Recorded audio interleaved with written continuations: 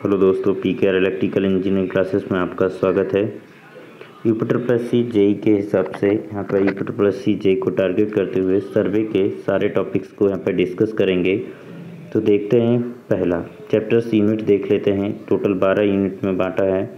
तो पहली यूनिट है फंडामेंटल ऑफ़ सर्वे इस फंडामेंटल ऑफ़ सर्वे में यानी कि रूल्स को पढ़ेंगे कि सर्वे के क्या रूल हैं सर्वे क्या होता है। इसके सिंपल डेफिनेशंस सर्वे क्या है एरर्स क्या हैं थोड़ा सा इंट्रोड्यूस किया जाएगा यहाँ पर फंडामेंटल ऑफ़ सर्वे में। इसके बाद आता है चेन सर्वे चेन में चेन से संबंधित जितने भी रिलेटेड तथ्य होंगे, वो सारे डिस्कस करेंगे चेन सर्वे से। फिर कंपास सर्वे ये डायरेक्शन से रिलेटेड होगा। कंपास सर्वे वहाँ पे बात करेंगे। Traversing levelling theodolite contouring plane table survey measurement of area and volume tacheometer survey curve और advance survey equipments advance survey equipment तो आप देखते हैं कि फंडामेंटल ऑफ़ सर्वे तो फंडामेंटल ऑफ़ सर्वे में सबसे पहले सर्वे की डेफिनेशंस क्या है? तो सबसे पहले सर्वे की डेफिनेशन पृथ्वी की सतह पर स्थित, पृथ्वी की जो सतह होती है स्थित बिंदुओं की सापेक्ष निरपेक्ष स्थिति को ज्ञात करना ही सर्वेक्षण सर्वेक्षण क्या है? सर्वे क्या है? मान लीजिए पृथ्वी है, इस तरीके की कर्वेचर होगी पृथ्वी की सतह। कोई पॉइंट ए है, मान लीजिए यहाँ ठीक? कोई पॉइंट बी यहाँ होगा और पॉइंट सी यहाँ होगा। तो पृथ्वी की सतह पर स्थित बिंदुओं की सापेक्ष या निरपेक्ष स्थिति को ज्ञात करना ही सर्वेक्षण। यानी कि ए के रिस्पेक्ट में बी कितने ऊंचाई पर है या कितनी दूरी पर है, ये सारी चीज़ें मेजर करना ही आपका उद्देश्य होगा। तो इसे हम कहते हैं सर्वे। यानी कि पृथ्वी की सतह पर स्थित बिंदुओं के सापेक्ष निरपेक्ष स्थिति को ज्ञात करना ही सर्वेक्षण। ए के रिस्पेक्ट में बी की ऊंचाई कितनी है? बी कितनी दूरी पर है? क्या क्षेत्र की स्थिति है? घनी आबादी है या बिल्डिंग्स बनी? कैसा इंडस्ट्रीज़ एरिया है? या रेजिडेंशियल एरिया है? तो वो सारी चीज़ों को यहाँ पर सर्वे के थ्रू ही डिस्कस करते हैं। तो पृथ्वी की सतह पर स्थित सापेक्ष निरपेक्ष स्थिति को ज्ञात करना ही सर्वेक्षण है। अगला है कि हॉरिजेंटल प्लेन अब बात आएगी, एक तो हॉरिजेंटल प्लेन होता है और एक वर्टिकल प्लेन होता है। जब आप पृथ्वी की सतह की बात करेंगे तो सतह के सरफेस पैरेलल जो होगा, उसको हम कहेंगे हॉरिजेंटल प्लेन ठीक? हॉरिजेंटल प्लेन उसको क्या कहेंगे? हॉरिजेंटल प्लेन और ऊपर जो होगा, ऊर्ध्वाधर जो होगा, उसको कहेंगे वर्टिकल प्लेन अब बात आती है कि हॉरिजेंटल प्लेन क्या होता है? तो देखिए प्लेन की बात करते हैं तो सबसे पहले ये अर्थ सरफेस होगी। इसके पैरेलल जो होगी, वो होगी लेवल लाइन अर्थ सरफेस के पैरेलल जो होगी, वो लेवल लाइन तो लेवल लाइन की जो स्पर्शी होगी, वो होगी हॉरिजेंटल लाइन या हॉरिजेंटल प्लेन तो इसी को लेवल प्लेन भी कह सकते हैं। तो लेवल प्लेन के रिस्पेक्ट में जो स्पर्शी होगी, उसे क्या कहेंगे आप? हॉरिजेंटल प्लेन तो हॉरिजेंटल प्लेन में कैसी दूरी मापेंगे आप? क्षैतिज दूरी. तो इसे हम सर्वे कहते हैं। यानी कि हॉरिजेंटल प्लेन में जो क्षैतिज दूरी मापते उसे सर्वेइंग कहते हैं। वो वर्टिकल प्लेन में ऊर्ध्वाधर दूरी मापी जाती है, जिसे हम लेबलिंग कहते हैं। यानी कि ऊंचाई मापी जाती है। तो सर्वेइंग के अंतर्गत ही लेबलिंग आती है। ऐसे नहीं कि लेबलिंग अलग है तो सर्वेइंग के अंतर्गत ही लेबलिंग का भी अध्ययन किया जाता है। क्लियर? प्राइमरी एम्स क्या होते हैं फ़ील्ड सर्वे के? उद्देश्य क्या होते हैं? जो फ़ील्ड सर्वे आप कर रहे हैं किसी का तो उसके उद्देश्य क्या होते हैं? तो उद्देश्य देखते हैं। बिंदुओं के बीच की क्षैतिज दूरी मापने के लिए।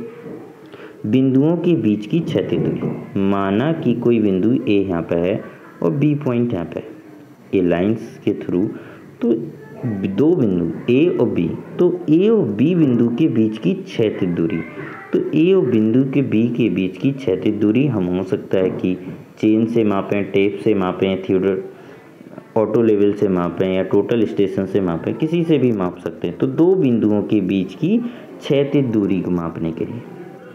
सर्वे का क्या उद्देश्य है? कोई भी सर्वे कर रहे हैं तो उसका उद्देश्य क्या है?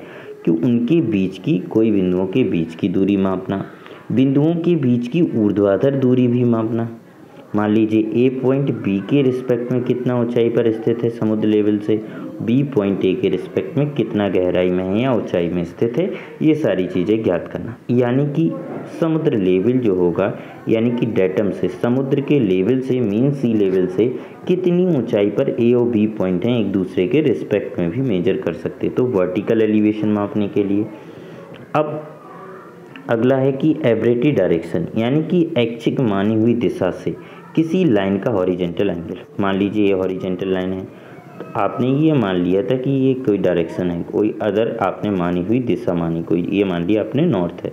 तो इससे जो एंगल मेजर किया जाएगा, ये जो अल्फ लाइन का जो एंगल मेजर किया जाएगा, वो भी क्या कर सकते हैं हम। उद्देश्य क्या है हमारा यही? फिक्स डायरेक्शन है। मान लो आपको पता है कि फिक्स डायरेक्शन है नॉर्थ नॉर्थ आपको दी।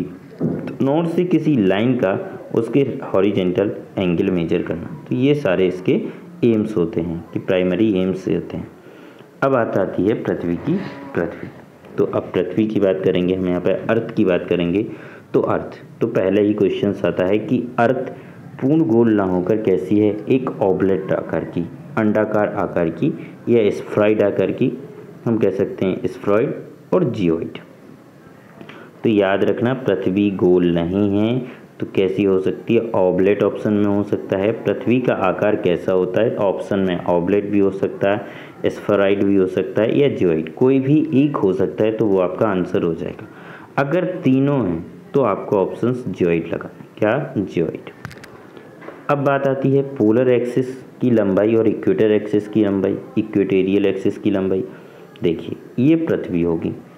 तो नॉर्थ और साउथ जो होते हैं, उनको हम बोलते हैं पोल तो नॉर्थ और साउथ को जो लाइंस जोड़ती है, उनको हम क्या कहते हैं? पोलर एक्सिस नॉर्थ और साउथ को जोड़ने वाली जो रेखा होती है, उसको हम कहते हैं पोलर एक्सिस तो पोलर एक्सिस की जो लंबाई होती है, वो one two seven one three point eight three यानी कि बारह हज़ार सात सौ तेरह दशमलव आठ तीन किलोमीटर. कितना? बारह हज़ार सात सौ तेरह दशमलव आठ तीन किलोमीटर. अब इक्वेटोरियल एक्सिस अब ये वाली जो एक्सिस होगी ये तो नॉर्थ साउथ हो गई तो ईस्ट वेस्ट को जोड़ने वाली जो लाइन होगी, उसको हम क्या कहेंगे? Equatorial axis. तो बारह हज़ार सात सौ छप्पन दशमलव आठ सात किलोमीटर। बारह हज़ार सात सौ छप्पन दशमलव आठ सात किलोमीटर। अब उनका डिफरेंट निकाल लेंगे। तो जब डिफरेंट कितना आता है तो बयालीस दशमलव नाइन फाइव किलोमीटर। तो आपको याद रखना है कि पोलर एक्सिस जो इक्वेटेरियल एक्सिस का जो डिफरेंट होता है, वो कितना होता है? बयालीस दशमलव नौ पाँच किलोमीटर। अब आता है कि सर्वे। तो सर्वे का क्लासिफिकेशन कीजिए। तो प्राइमरी क्लासिफिकेशन जब करते हैं तो पृथ्वी की वक्रता के आधार पर सर्वे को दो प्रकार का होता है। एक प्लेन सर्वे, एक जियोडेटिक सर्वे। प्राइमरी क्लासिफिकेशन तो पृथ्वी की वक्रता के आधार पर। किसके आधार पर? पृथ्वी की कर्वेचर ऑफ़ अर्थ यानी कि पृथ्वी किस कर्व पृथ्वी की कर्व याद रखना, जो कर्वेचर होती है, पृथ्वी कैसे आकार की है? गोल तो है नहीं, कर्वेचर। किस तरीके की है? एक ऑबलेट स्प्राइट आदि तरीके की है। तो उसकी जो कर्व होगी प्लेन तो है नहीं। अगर उसकी सरफेस देखा जाए, आपको प्लेन दिखती बट प्लेन नहीं है, वो कैसी है? एक कर्व के आकार में। तो जो पृथ्वी की वक्रता के आधार पर हम सर्वे को दो भागों में बांटते हैं। एक प्लेन सर्वे होता है, एक जियोडेटिक सर्वे। तो अभी हम प्लेन सर्वे की बात करते हैं। तो प्लेन सर्वे की बात करते हैं। तो प्लेन सर्वे में पृथ्वी की वक्रता पर ध्यान नहीं दिया जाता। यानी कि कर्वेचर ऑफ़ अर्थ को कंसीडर नहीं किया जाता। यानी कि उसमें सम्मिलित नहीं किया जाता। प्लेन सर्वे किसे कहते हैं? पृथ्वी की वक्रता को जिसमें सम्मिलित नहीं किया जाए। प्लेन सर्वे किसे कहते हैं, जिसमें पृथ्वी की वक्रता को सम्मिलित नहीं किया जाए, यानी कि कर्वेचर ऑफ़ अर्थ को कंसीडर नहीं किया जाए, यानी कि जोड़ा नहीं जाए उसमें, यानी कि सतह को कैसा माना जाए? कर्व सतह ना होकर कि उसकी सतह को कैसा मान लिया जाए? प्लेन, एक समतल सतह, कैसी मानी जाए? एक समतल सतह।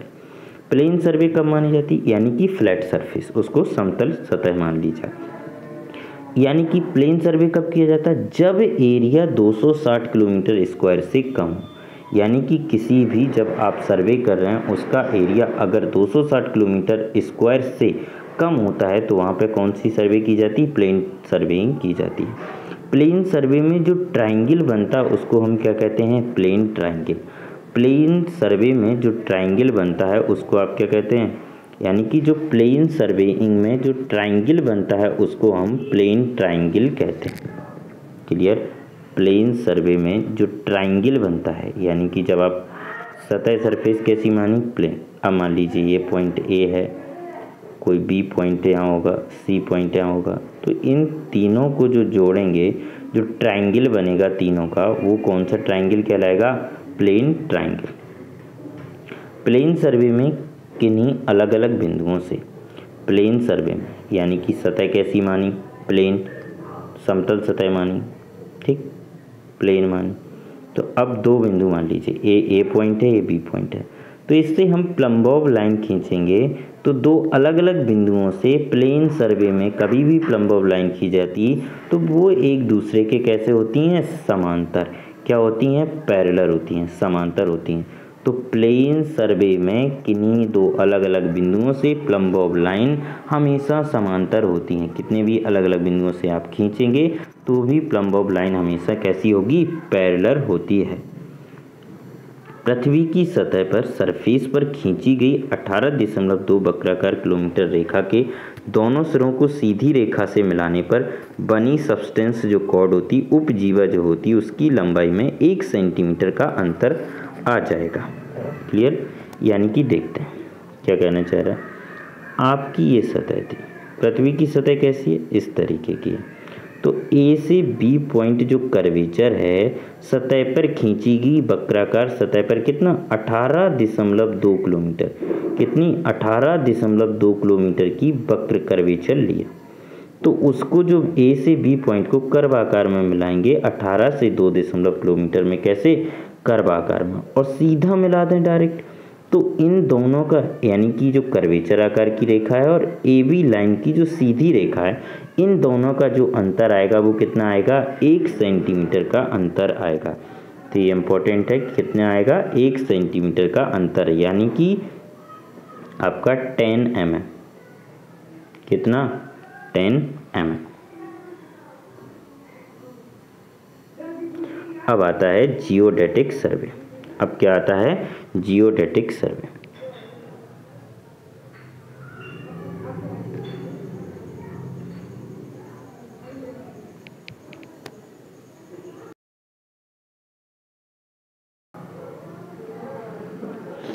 अब जियोडेटिक सर्वे की बात करते हैं। तो जियोडेटिक सर्वे कहाँ करना चाहिए? जियोडेटिक सर्वे का पहला पॉइंट है कि जियोडेटिक सर्वे में पृथ्वी की वक्रता को सम्मिलित किया जाता है, यानी कि कर्वेचर पृथ्वी की जो अर्थ ऑफ़ द कर्वेचर होती है कर्वेचर को इंक्लूड किया जाता है। तो जियोडेटिक सर्वे में पहला पॉइंट है ये कि जियोडेटिक सर्वे में पृथ्वी की वक्रता को सम्मिलित किया जाता है, यानी कि पृथ्वी को कैसा माना जाता है कि पृथ्वी एक वक्राकार की होती है। ना कि समतल होती है। पृथ्वी को कैसा माना जाता है कि पृथ्वी एक कर्वेचर के रूप में होती है।